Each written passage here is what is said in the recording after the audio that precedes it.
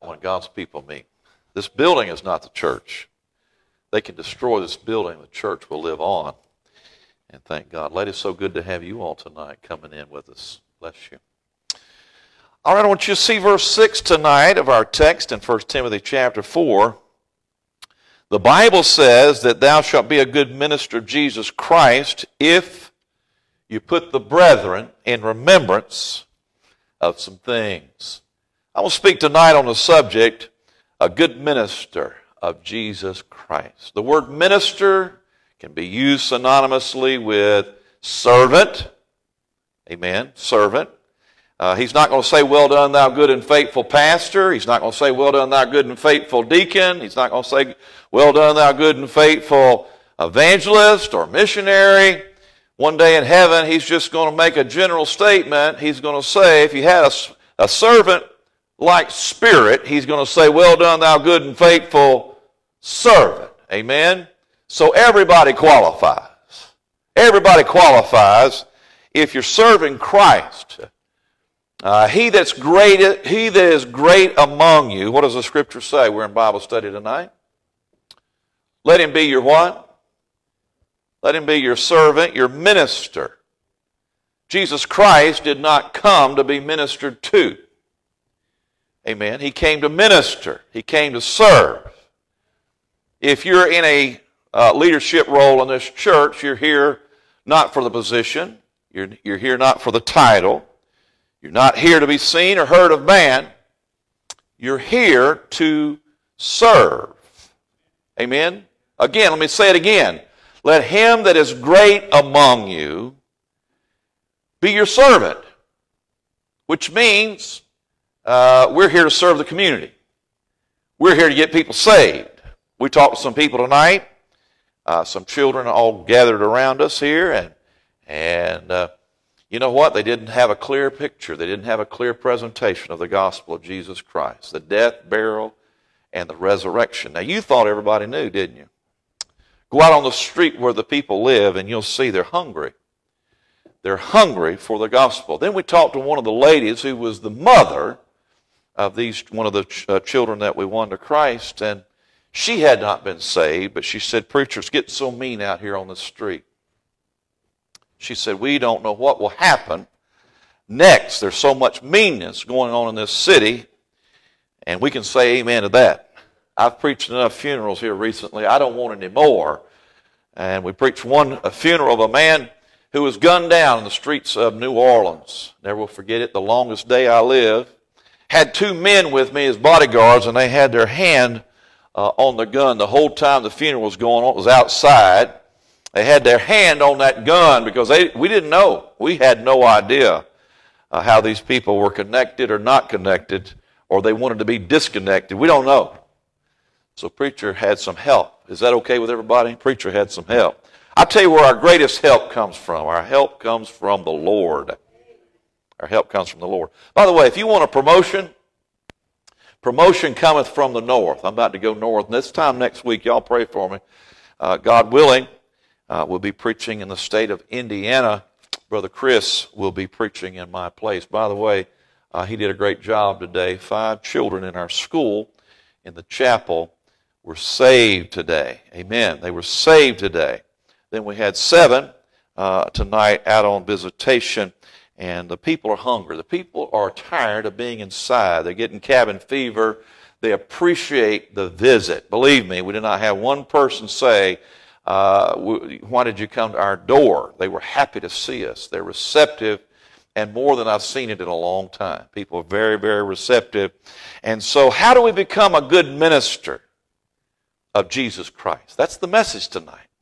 You don't have to be a full time servant of the Lord to be a minister uh, unto Jesus Christ. And so, tonight, we want you to find this servant spirit. We want you to understand that it's so vital because in the Bible says in the very first verse that the Spirit expressly speaks to us that in the latter days that men shall depart from the faith, giving heed to these seducing spirits, plural.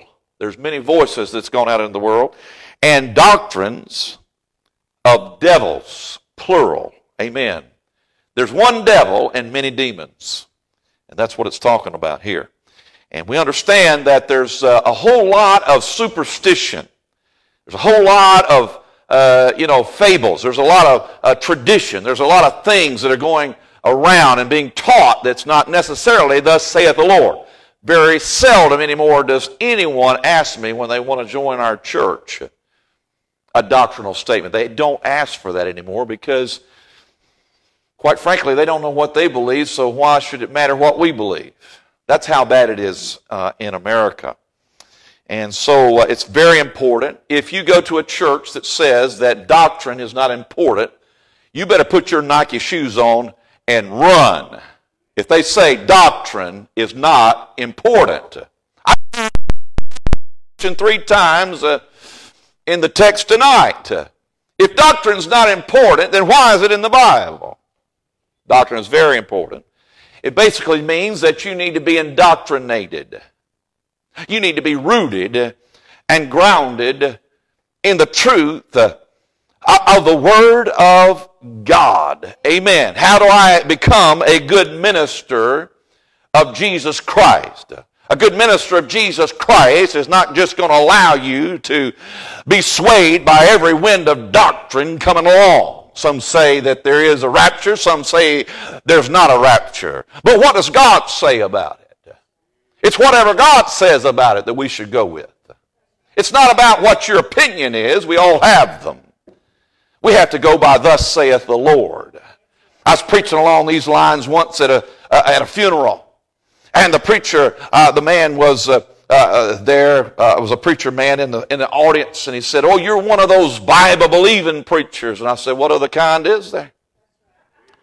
What do you preach out of? I said. Then one lady came up to me and she said, Oh my goodness, you'll be a good preacher when you get the Holy Ghost. I said, Sister, just pray for me. Preached about an hour. How much more Holy Ghost can you get than that? Good night in the morning. Some say, hey, when you get the full gospel, you'll really be good. well, the full gospel is the death, burial, and the resurrection. To add anything to the death, burial, and the resurrection is to add works to salvation. You know that now, right? I want to indoctrinate you. I don't want you to be swayed with every wind of doctrine coming along. I know our teens are over there, and I know our children are over here, but we are just adults in here tonight. Uh, is it all right if we just preach to the adults? Amen. First thing I want to see is the Word of God. It nourishes us. Look at verse number six again. If thou put the brethren in remembrance of these things, thou shalt be called and be a good minister of Jesus Christ. Notice what it does when we teach these things out of the Word of God. It says it nourishes us up in the Word of faith uh, and of a good doctrine, whereunto thou hast attained. You see the word doctrine again in verse 13. You see the word doctrine again in, in verse number 16. So uh, it completes us, it matures us, it makes us, if you will, uh, whole emotionally, physically, spiritually, in all areas of life. This is the word of life that gives life to us. It nourishes us. and I'm a good preacher. I'm a good minister of Jesus Christ uh, when I tell you, thus saith the Lord. I don't believe we had preaching on Wednesday night. God didn't call me to give devotions. He called me to preach. I'm a God called preacher. And I preach. Amen. I don't apologize for preaching.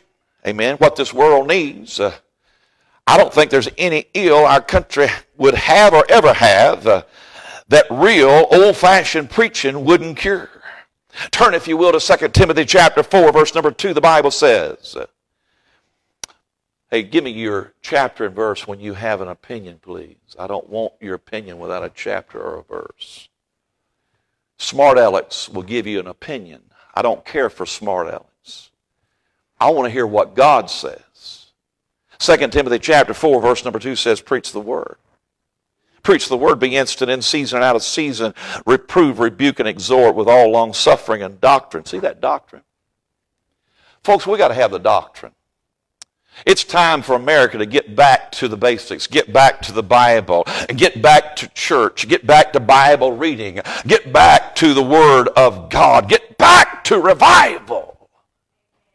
We need revival on Wednesday night. We need the full choir on Wednesday night. We need the Lord. He said, I want to put you in remembrance of these things. There, these are things that all of us know if we've read the Bible. By the way, have you read your Bible today? I promise you, you'll have a better day if it's the Word of life. You'll have a better day if you've read your Bible today. You go around all day moping and groping and whining and griping and fussing and cussing, and you hadn't read your Bible, and you know you hadn't. You get in the Word of God and you let the Holy Spirit touch your life and touch your heart, uh, and your heart's receptive for the implantation of God's Word. When you read the when you read the Word of God, the Word of God will never go contrary to the Spirit of God. The Spirit of God will never go contrary to the Word of God, and thus you are safe if you read your Bible today. Amen. You can become a servant of the Lord if you'll just read your Bible. I'm convinced of that. Did you know I know some people that got saved just by reading the Bible? I asked that lady tonight, I said, Lady, dear lady, I said, Has anyone ever taken time with you to show you from the Bible how to be saved. From the Bible. I'm not talking about someone's experience now. I'm not talking about you just walking down the street and poof, somebody, uh, you know, something fell on you. I'm not talking about that kind of salvation. I can't find that kind of salvation in the Bible. I'm talking about has someone opened the Word? Faith cometh by hearing, and hearing by the Word of God. I don't believe in this kind of salvation that nobody ever reads a Bible verse to you and shows you from the Bible how to be saved. She said, No, Pastor. No one's ever taken the time. You know how long it took? About seven minutes. Seven's the perfect number. You know all you'd have to do? You don't even have to memorize the scripture. Just carry a few of these cards around. Brother James, you got some? I've got about a, I got some. I'll share some with you if you want. How many's in a deck of cards? You've been playing those. Why don't you play with these? Amen. You didn't know I was going to get on your pet sin tonight, did you? The Word of God nourishes us. You don't have to worry about playing blackjack down there or 21 down there if you're getting the Word of God. I think that'll handle it. I thought, I thought everybody left. thought I was the only one. Help me out up here. I'm all alone. So what am I saying? I'm saying, hey, I believe the Word of God is all, all we need. And guess what? These are Jesus' words. Need to do in the morning, you need to get up in the morning, you need to go. Good morning, Jesus. My Jesus, I love thee. I know thou art mine. In thee all the folly of sin I resign. My gracious Redeemer, my Savior art thou. My Jesus, I love thee, and I know tis now. Amen. So tonight, listen, I I'm seeing tonight the Word of God. There, people don't know enough of the Word of God to, uh, to fill a thimble full. That's what we need. We think we need chemicals in our body to make it work. We think we need uh, a gymnasium down there to make our body healthy. Uh, we think we need this. We think we need that. Listen, the diet food business tonight, tonight in America is a billion dollar industry. Of course, they're going to make you think that you need their product. Of course, the supplements and the chemicals and all of the things that they're, uh, they're uh, advising you to get. But I'm saying, remember, it's a business. Uh, and they're serious about it. Amen. Uh, hey, hey, if you're serious about uh, uh, getting healthy, let me just throw something good in tonight because it's in the text. Did you read it? Every creature of God is good with the uh, uh, sanctification and prayer and the Word of God. I read that. Did you hear that tonight? If you really want to get healthy, why don't you eat everything food wise, the pomegranates, all of it? It's in the Word of God. I think God's food is more healthy than the food we get down at Winn Dixie that's full of chemicals. Why are so many people getting Alzheimer's? Why are so many people getting dementia? Where does that come from? I talked to our missionary over in India. I went over there and he said, Pastor, he said, what is Alzheimer's? He said, we don't have it in India. He said, they have it is because we eat two coconuts a day. Something else they eat, Miss Crane, what was it? Cauliflower. They eat two coconuts and a cauliflower. every, believe me, he had a coconut every day, a new one sitting on my on my table.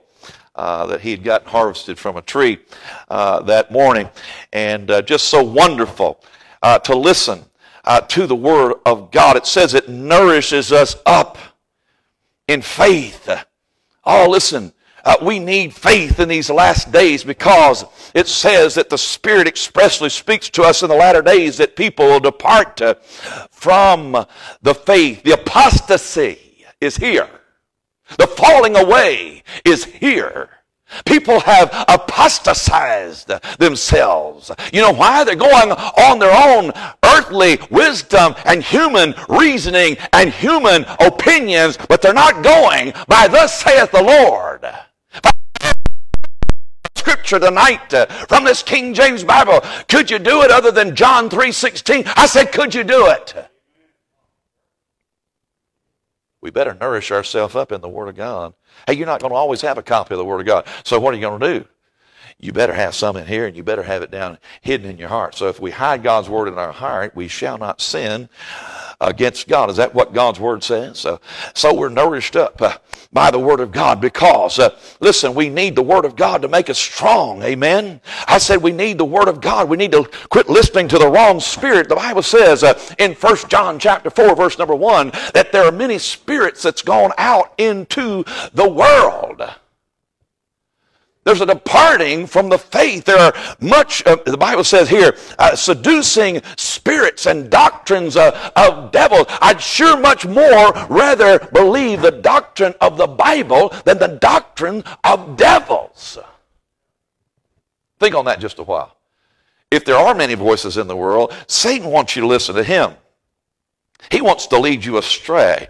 He wants to uh, whisper in your ear. He, he gets his old talons down in my shoulder meat right there, and he perches on my shoulder like he perches on your shoulder, and he tries to condemn you. What are you going to do? Romans 5 1.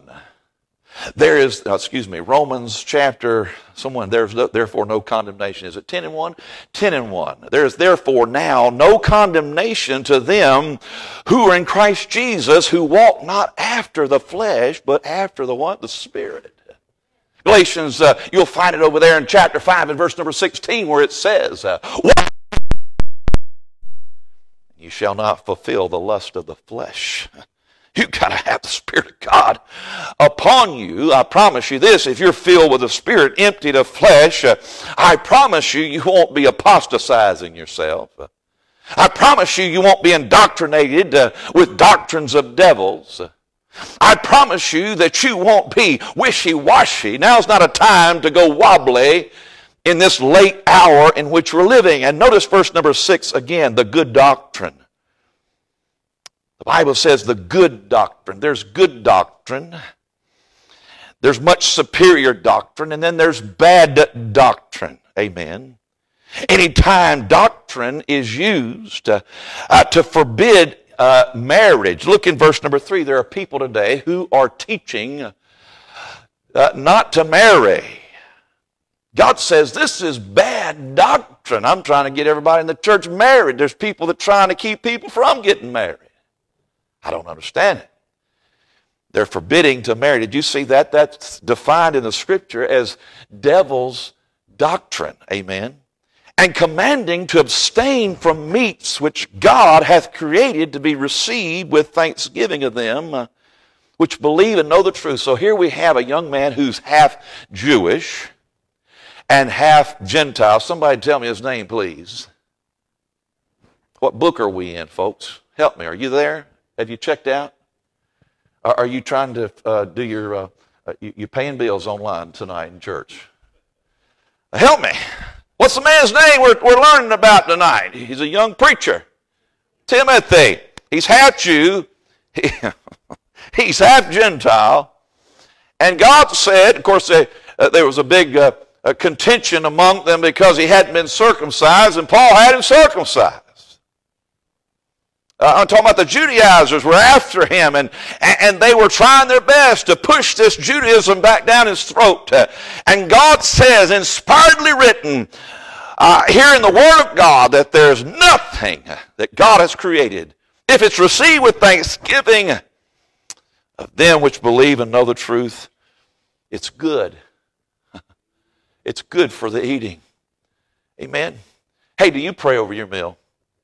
I'm not just talking about Thanksgiving. I'm talking about when you slip into Burger King. You know, you're in a hurry. You're going through the line. Uh, and maybe even, are they allowing in, in restaurant meals now? Are they allowing that? Okay, I went off in another city the other day, and we, my wife said, was in Mobile. My wife said, honey, it's been a long time since we've been on a date. Hint, hint. I said, what you wanting, hon? She said, uh, uh, how about a steak and shake? They've got one over here. So we did. And we sit there an hour just talking, just talking, just talking. And you know how the restaurant, uh, the waitresses and the waiters do, they try to hurry you along by coming, is there anything else? We're making room for somebody else. No, there's nothing else. We're just enjoying ourselves. We're, you know, we're drinking a shake. We're eating, a, uh, we eat one of these, what do they call them? Uh, steak, steak sandwiches and enjoying ourselves. I don't even know what, what I was talking about or where that led to, but boy, we had fun. You know, we prayed over our meal. We asked God to bless it. You, you don't know how that person prepared that meal. Huh. You don't know what they put in there. You better pray over it. you better. Hey, uh, all these things, all these creatures are good. Every creature of God, verse 4, is good for, and nothing to be refused if received with thanksgiving. Go to a foreign country and there's food that you're not used to eating, but yet you're being served this in their homes. Uh, and it would be an offense to them if you did not eat it. I remember the first meal we had in Romania. The night we got in, it must have been 11 o'clock, and the man, he, he spent a long time back there preparing. It must have been after midnight before we ate, and he brought out uh, I'm not kidding you.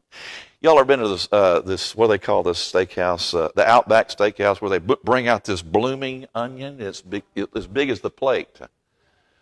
Well, this one hadn't been fried. It was just an onion, and it was big as the plate. and he said, uh, bon appetit, and uh, puff de buna, and all these words in Romanian and European languages and such. And I said, this is it, guys. This is what we're getting for supper tonight. And, and it was hot. It was one of those hot onions. I kid you not. I got it down. And every time Miss Crane, bless her heart, I'm picking on her tonight. Every time she didn't like uh, something, she would shove it over there to me. And, uh, you know, I'd have to get it down somehow. But uh, praise the Lord. God is good. God is good. Just think if that's all you had to eat is an onion. You know, when they saw, when they knew that we were coming, and there was no, there was no hotels to stay in back in the early days. We stayed in the homes of the people, and they would save up for months to buy the meat necessary because they didn't eat meat but once a week.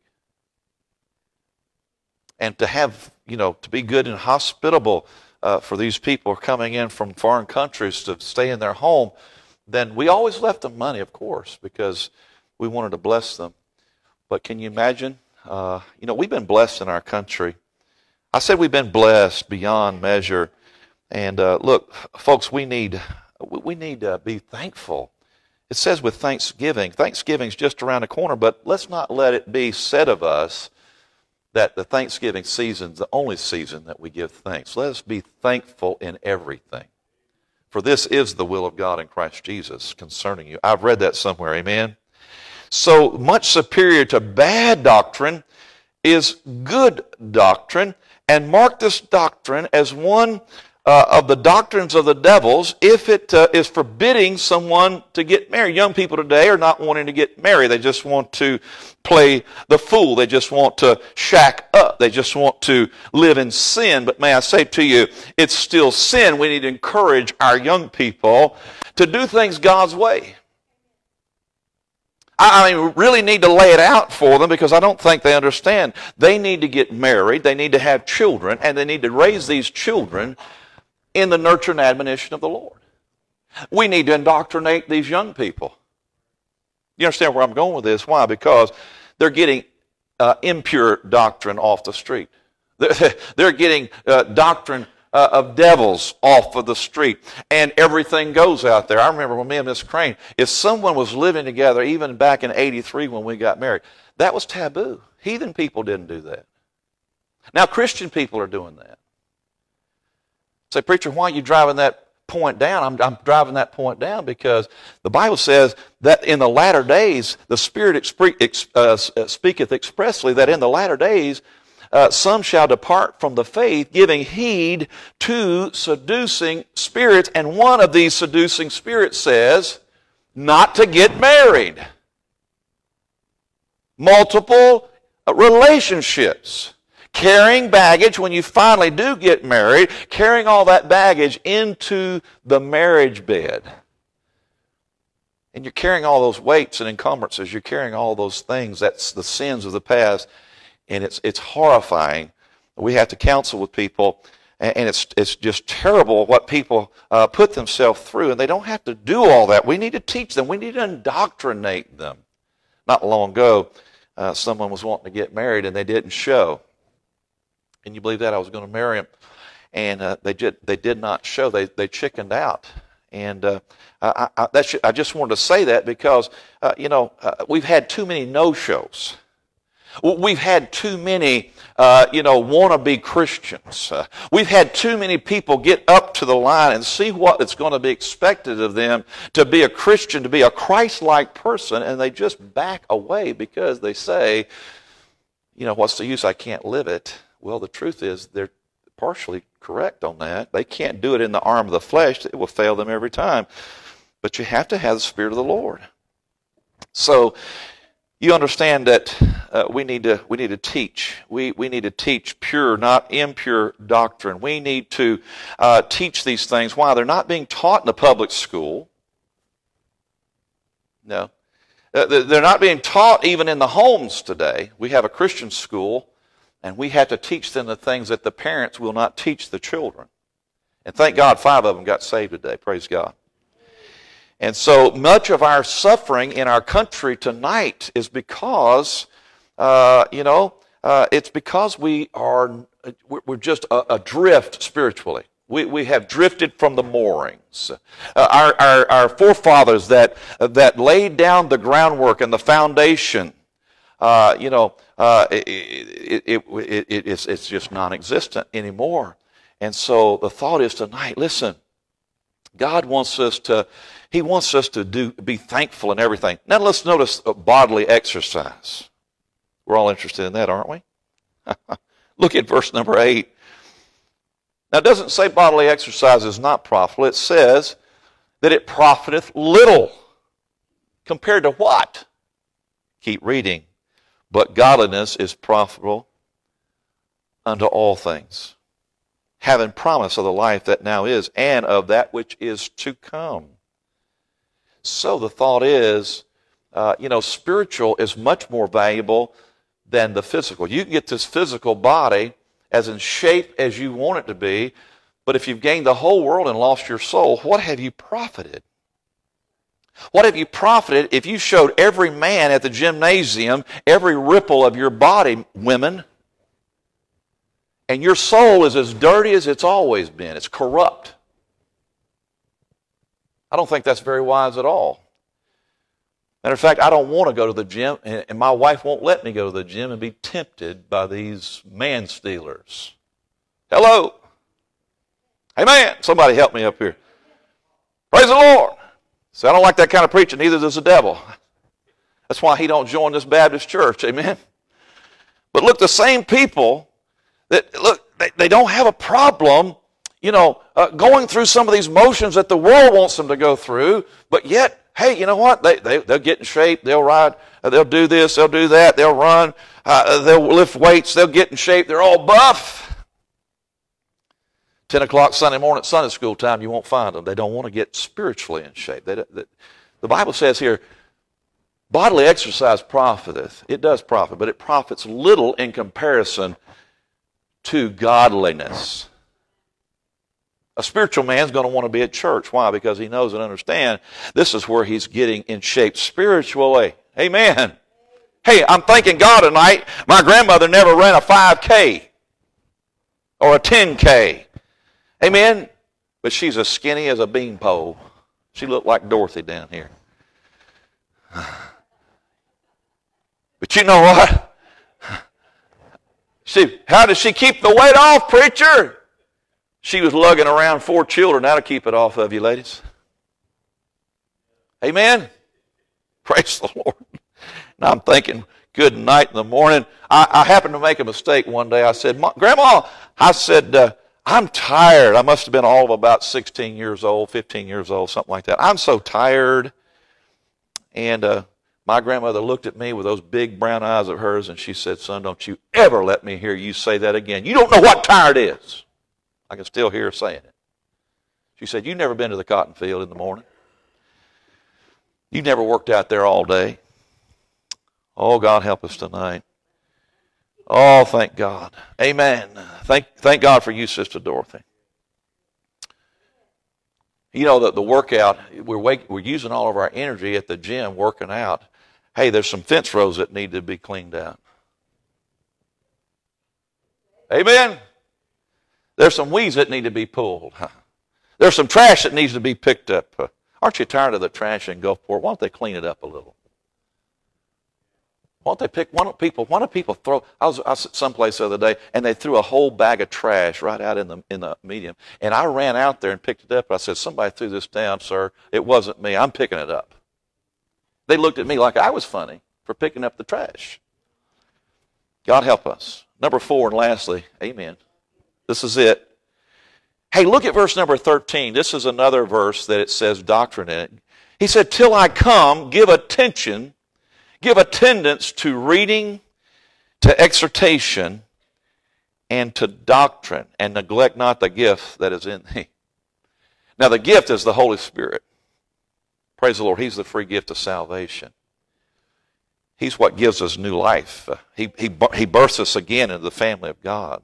And so the Spirit of God gives us understanding when we are reading, when we are being preached to, this is exhortation, and even when we're having a doctrinal lesson like tonight. I wonder how many Baptist churches you can go in on a Wednesday night and they're having a doctrinal lesson like we are here, just verse by verse, precept upon precept, line upon line. This is what helps people grow. Very few people, amen, believe what we believe uh, when they when they join, they don't ask uh, what we believe. They don't they, they don't think doctrine matters. Uh, and uh, some say that uh, they're not part of any denomination. They're in a non-doctrinal uh, church. but can I just clue you in? Usually, those churches are a part of a denomination or even an associational Baptist church, but they've taken the name Baptist off because they say that it's too offensive. Oh my goodness. We sure don't want to hurt anybody's feelings. When 250 million of us Baptists have died for the faith, friend, I'm not taking the sign off. I don't care who it offends. Read the Trail of Blood. Read Fox's Book of Martyrs, and you'll see the history of the Baptist Church. I'm Baptist from the top of my head to the bottom of my feet. It's not what makes me a Christian, but I've been indoctrinated. Hey, the indoctrination that I received is better than indoctrination that the devil wanted for me out on the streets. He'd much rather me singing that, uh, that uh, pop band that I was practicing with when the Lord got a hold of my life. He'd much rather me being siphoned off from the church like so many others in the last days. There's going to be a falling away, and men will apostatize themselves and get out of sweet fellowship of those believers. The Bible says, you know, you pass from death into life because you love the brethren. The Bible says, you know that you're one of my children, you're, you're one of my one of my child. If uh, by this shall all men know that you're my disciples, if you have love one towards another. Where does the brethren hang out? They hang out down at the church house. He said to forsake not the assembling of yourself together as the manner of some. The church is the assembly. Church is the assembly of baptized believers. What are we doing here? We're, we're being instructed, we're being exhorted, we're being encouraged, we're, we're being indoctrinated, and we're meditating on the Word of God day and night. And we shall be like a tree planted by the rivers of water. What do you think? Amen. So the exhortation is what Paul wanted Timothy to do. He wanted to encourage him to go to these people and to preach the Word of God uh, to them. I hope that happens with these young preachers in our church. I pray that as I've been faithful to them, one day they'll have a congregation to be faithful towards. Uh, they'll be a good minister uh, of Jesus Christ. That, that, they'll have their little flock that they can that, that they can teach and that they can preach to and that they can nurture uh, with this holy nourishment from the Word of God. And uh, you know, this is what saves a country. When our country was great, we had great churches that was preaching and teaching the Word of God. And we had churches that were planting baby churches all over the place. And look at verse 16. Take heed unto yourself. Uh, listen, it says, uh, listen to your own preaching, young Timothy, and unto the doctrine and continue in them. Notice, for in so doing, this thou shalt both save thyself and them that hear thee. Save thyself from what? This untoward generation. This generation that don't believe anything. This uh, generation that don't want to believe the doctrine of the Bible. This generation that just wants a tingle when they come to church. This generation, all they want to do is sway and dance. We had one lady, she came to church, and this is what she said. I'm not kidding, is exact word she said. She said, When I come to church, I want to dance with Jesus and I want to feel intimate with God. She couldn't have hurt me worse than if she had poured hot, scalding water on me. My wife just easily let her down by saying, Well, I guess you won't fit in here because we don't do any dancing to Jesus here. Because the Bible says, and my wife gave her this verse let everything be done decently and in order. And I don't want to see any person, male or female, shaking everything God gave them, especially in the church of the Lord Jesus. Amen. If I'm going to go to a discotheque, I'll do it, but I'm not going to go to the church of Jesus and do it. Amen. I'll be backslidden, but I won't be going to the church to do it. That's a double backslide. Amen. That's worse than that. We're to save ourselves from this untoward generation. We have a whole generation of people who don't know what a New Testament church is, and they wouldn't know it if they met it in the middle of the road. No doctrine no power. They don't have enough power to blow the fuzz off a peach. They don't have enough power to go out in Jesus' name. Seven saved tonight out there talking. And one lady said, Pastor, my son Raymond has come to your church off and on all his life on one of y'all's buses. He's 18 years of age now, and he needs your church now more than ever. He, she said, Come get him on Sunday my wife's typing the address and the names and the numbers and all that in her phone. We're out there uh, tonight before church. I want to be a good minister Jesus Christ. Amen. I church to be good Christians. If pastor and his wife can do that, you can too. Nothing special about us. Nothing special about that. God just placed us right where we needed to be. Wasn't nothing hard about it. It was just like pulling off ripe fruit off the vine. There's somebody, there's a coworker tomorrow at the lunch time that you could do that with. Hey, I got some if you need them.